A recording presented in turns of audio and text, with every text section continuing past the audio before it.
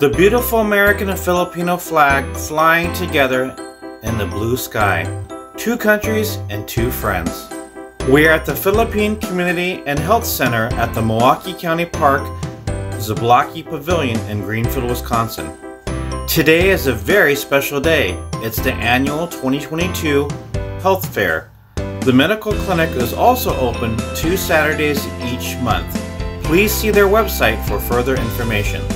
What we learned about the Philippine Health Clinic. Number one, the only free Filipino medical clinic in the United States of America.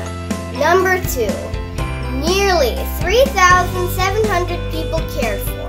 Number three, $3.8 million of diagnostic services given.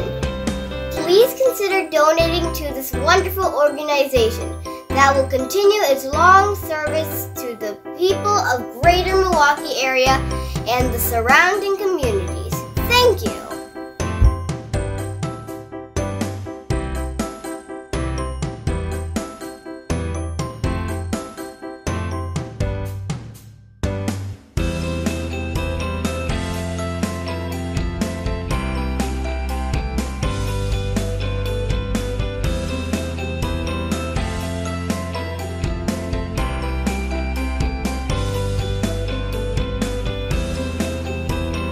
Today I had a very wonderful impromptu interview with the director of the Philippine Center.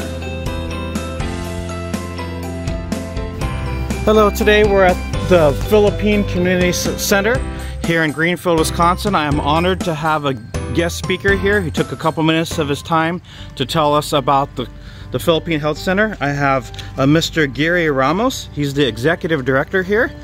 So, hello sir, how are you doing, Paul? Hi, I'm Gerry Ramos. I'm the Executive Director of the Philippine Center. And uh, we have an arrangement with the Milwaukee uh, County Parks Department and we were able to get this Zablocki Park so we have a permanent Philippine Center out here now. So our dream of having a Philippine Center has come to fruition. That's excellent. Uh, sir, I need to pause for a moment. My phone is it's not bright enough here, so I as you were saying, sir, sorry I had to we had to move because the light, the sun was directly on him and it was casting a shadow. So, as you were saying, sir. Yeah, we established our Philippine Center in 2000.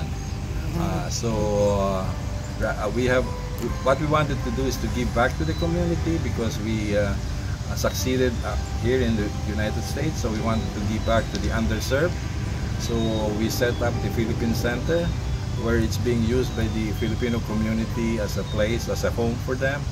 And in there we also have civic uh, activities. We have a community outreach. We have a free, uh, free medical clinic. Uh, and we saw about 3,780 patients already. Uh, and we have given free services and medicines and labs costing to about 3.8 million already since we started our Philippine Center in a free medical clinic in 2010. So we try to give back. We also have a children's uh, literacy program where we take care of the children, give them uh, activities as well, as well, as learn about our, our culture. And uh, we have a Montintili choir before that came with concerts, had concerts with the veterans and uh, with the teachers, alumni, and they've been performing at the uh, Milwaukee Arts Museum and at the Holiday Folk Fair and we tried to present our, the good side of the Philippine, Philippine uh, culture and uh, the uh, politicians and the grant providers think of the Filipino community here in Milwaukee because of our Philippine Center as a giving community and that's what we call us.